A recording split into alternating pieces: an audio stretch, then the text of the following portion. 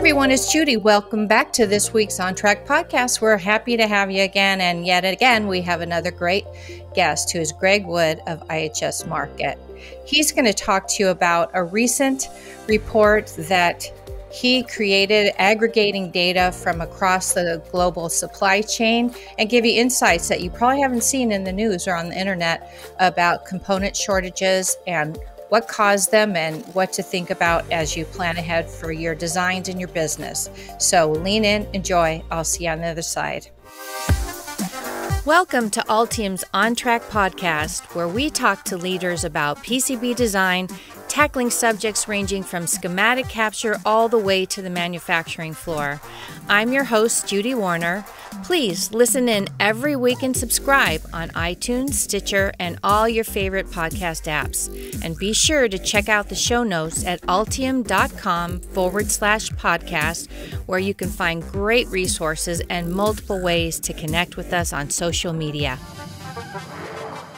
Well, hi, Greg. Welcome. So glad to have you today. And I understand I'm catching you just a few short days before you retire and go off into the sunset with your wife and your dog. So, congratulations and thanks again for joining us. And thank you, Judy, for having me. I'm excited. Uh, we've got some great material um, for the podcast today, and I'm excited to be able to present that. Well, Greg, we met a little earlier a few months ago, and as you know, uh, although our guests may not know, that we have a, uh, a, part of IHS actually integrated into our pro level tools. And so we have some of the power of IHS's supply chain um, aggregation of components uh, in our tool. And so you're a partner with Altium.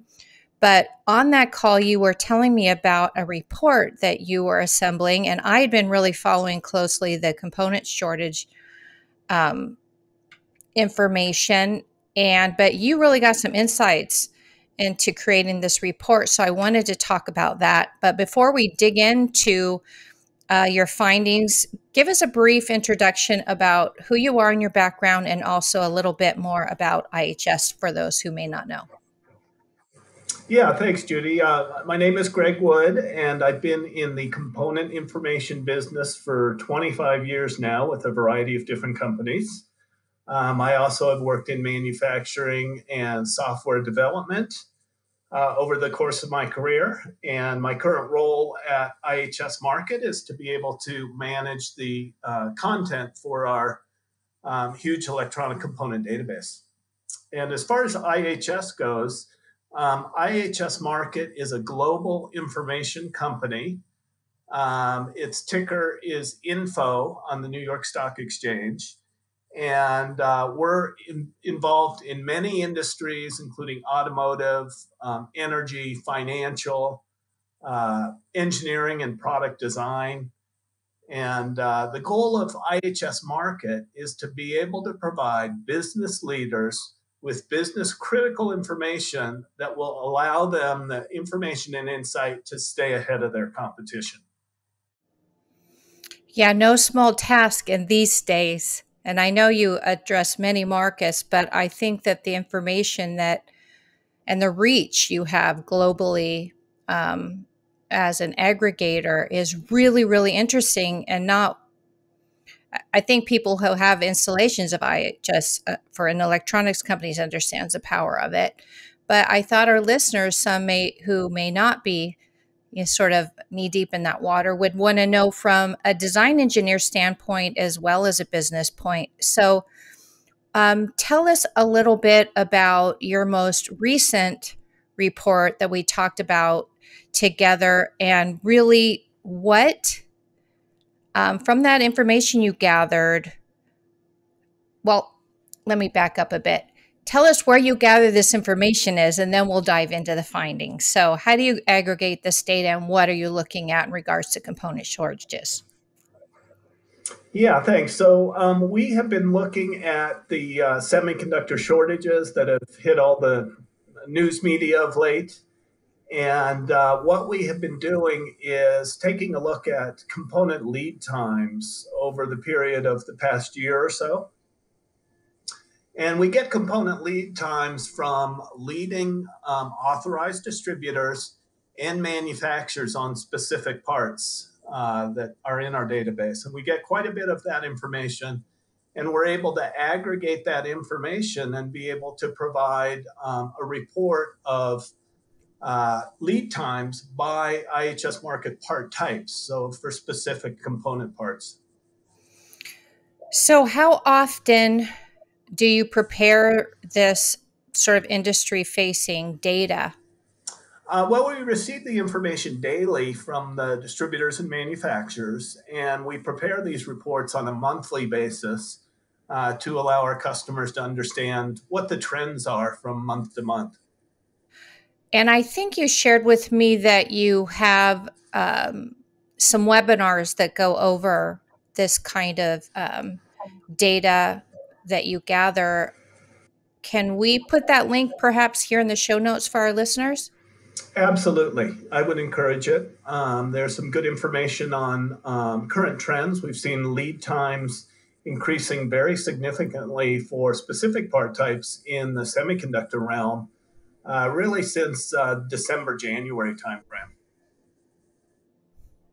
Yeah, it's been a bit of a shock, at least to me. You know, a couple years ago, we went through the the uh, passive shortages uh, because I think mostly because of um, the automotive industry and people sort of hoarding but you know we got through that and then here we are and to see semiconductors has kind of been a, a shock. So what are driving these this current season of shortages? And now dig in if you would greg into to what your findings were in in this most recent report yeah, so what we've seen is um, the lead times for specific semiconductor part types increasing very significantly over the past three months, three to four months. And specifically for um, microcontrollers, microprocessors, uh, oscillators, we've seen some increases. Um, we've seen some very significant increases in um, memory, programmable logic and then some of the discrete components uh, like transistors and diodes. And we've seen these increases uh, hmm. of additional 20 weeks of lead time accumulating very, very quickly over the past few months. So it's um, really created some very significant shortages in the industry that people really need to be prepared for. So, can you share maybe some of the sort of stories you've seen as people have sort of had to adapt to these shortages and and really sort of being up against the wall? Yeah. So um, the the shortages really um, started um, during the um, COVID lockdowns, where people were spending a lot of time at home. And they were buying um, electronics for at home use. So, smartphones, TVs, game consoles, those kinds of things to help them pass the time. And those are very high sales volume uh, type of products. And they really used up a lot of the um, semiconductor dies that were available on the market and into the future. So that's what started the um, uh, the shortages of these dies, really. And what happened over time was that um, the automotive industry rebounded much more than expected in the second half of 2020. And they found that um, a lot of the uh, microcontrollers were unavailable till well into the future as a result of these expanded lead times. So it's really created um, not only just for the automotive industry, um, but also for um, all industries, really, where they're manufacturing printed circuit boards and elect- electronic equipment. Yeah, we've definitely, um, as you know, Altium uh, acquired Octopart some years ago, and the traffic to their website for searches has just gone through the roof. And so I think offerings like IHS and Octopart, you know, everybody's running to find what they can on the on the bare shelves these days. So did the industry not anticipate like I imagine when the consumer electronics were creating an uptick, was it because the unsure future? Like, why didn't they start making more die? Well, I think uh, the capacity um, was already accounted for in future orders. So as people got from the Christmas holidays and as they got back from the Chinese New Year, they started to see demand increasing. So they put in uh, additional orders right away for uh, these components, and they really used up capacity well into the future. It's because all those darn kids that were home driving everybody crazy. Throw them a screen and electronics. well, there is. Um, not to mention the parents that were probably going bonkers as we all were forced into small quarters. Yes, indeed. Well, there is some good news in uh, the fact that the Semiconductor Industry Association had sent the uh, Biden administration a letter that really highlighted a national security um, concern that semiconductor manufacturing in North America has really reduced very significantly from um, 1990, where um, we produce 37% of semiconductor components, to today, where we produce only 12% of semiconductor components. So, as a result of that, the Biden administration has sent one of the world's largest fabrication facilities, Taiwan Semiconductor Manufacturing, a letter encouraging them to reduce or to increase capacity. And as a result of that, um, the TSM decided to um, invest $100 billion in increased semiconductor fabrication capabilities. But um, that does take some time to put together all that uh, manufacturing capabilities. So, um, although there is um, uh, a good sense of supply chain continuity in the future, it will take us some time to get to that point. Yeah, and I know many of us have been reading also. I know, I think Intel slated to build two uh, domestic plants here in the US and um, and as part of that Biden um, bill that passed, I, I think it is called the Chip Chips Act, um, where they're actually investing for innovation, right, and putting money into, you know, creating, you know, our resiliency, you know, here domestically. So, um, are there other ways you're seeing obviously there's heavy investment going on but you know if i'm a if i'm a ceo of a you know any kind of electronics company or i'm a design engineer what are some coping strategy to help you know keep our businesses afloat and you know what are you seeing as useful ways to sort of cope while we wait for these new plants to uh, either pick up capacity or come online? So those are great questions, and I would um, suggest that there's, um, if there's immediate concern about your supply chain, um, there's a few things that you can do to be able to um, sort of expand your opportunities to um, to be able to acquire inventory. Um, a few ideas are to um, understand um, drop in replacements very well. Um, so often there'll be a um, similar part number within the same family that can have um, reduced lead times and that can shorten your lead time by as much as 50% in some cases. Um, there is also um, opportunities to be able to look at um, inventory quantities for independent uh, distributors. Uh, so if there's um, trusted independent distributors that have inventory quantities, um, that would be a great area to be able to be able to um, buy off some of their inventory uh, to keep your production lines in uh, running. Mm. there's also opportunities for um, there's been a lot of um, acquisition activity. Hmm. So um, you can also look at independent distribution for um, uh, perhaps Fairchild parts that were uh, manufactured by Fairchild before they were acquired by um, uh, ON Semiconductor and be able to um, find uh, those components and be able to utilize those. And I've even heard of some companies looking at um, earlier date codes uh, than what they had normally been buying so that they can get um, uh, the, the parts they need that will go into their designs. You know, you had a shocking number about the automotive industry too, Greg. That what is this? We had this un, unexpected, un, really forecasted the the depth at which the um, or the height that the automotive or the EV market, the electrical vehicle market, particularly, would spike. And what's happening to the auto manufacturers right now?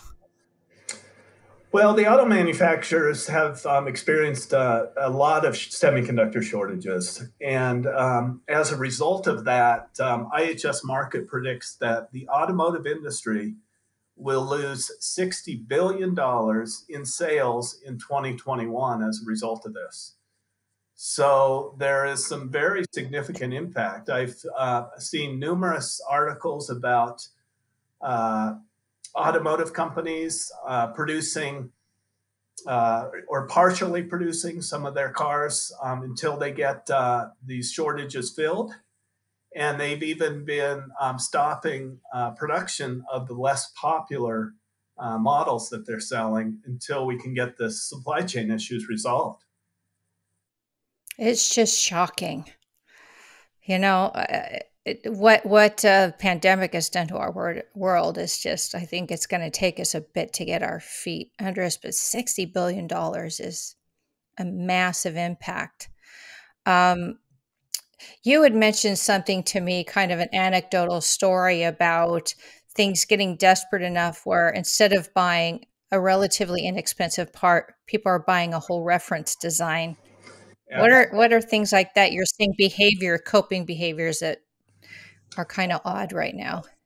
Yeah, that's. Um, uh, I was very surprised. We work very closely with uh, component manufacturers, and one of the component manufacturers that I had been um, speaking with had told me of an occurrence where a particular company was looking for a six dollar part, and it was just not available, no inventory, very long lead times, and what they did was they ended up buying $150 evaluation boards because there was this particular component on those boards. So they needed that to be able to continue their production. But you can imagine the cost increase for uh, the compromise that they had to do to be able to, um, you know, come up with that order and be able to continue to manufacture their products. Wow, it's really something. Well, um, any other advice for design engineers before I let you go? And I will definitely, for our listeners, I will definitely share links, links to the webinars, places you can go get more information. Um, but Greg, any final thoughts you might give? You you've sort of covered all sides of the industry. Any other words of wisdom as we all cry for help out here? Yeah, you know, I think for design engineers, um, some of the best things that you can do are uh, during part selection. So, certainly, you want to select parts um, that have cross references um, across manufacturers if possible. Um, now, not all part types are going to have be exchangeable, but um, certainly um, to be able to do that and to be able to select parts with a long year's end of life that are some technologies. Those are some things that are very helpful. Um, additionally, I think you can do a proactive review on your existing designs that you see uh, will have a continued life cycle in the, uh, the, the coming years and just take a do a critical review on what your supplies look like into the future and um, what your mitigation strategy would be if you do run into um, critical shortages and also to, to really monitor what those lead times are on at least a weekly basis, if not uh, more often. Well, thank you. I, you know, I I really am excited to have you on, and I know this has been helpful. And I'm sure the links that I'll share, obviously, of course, for our industry, IHS has a solution product.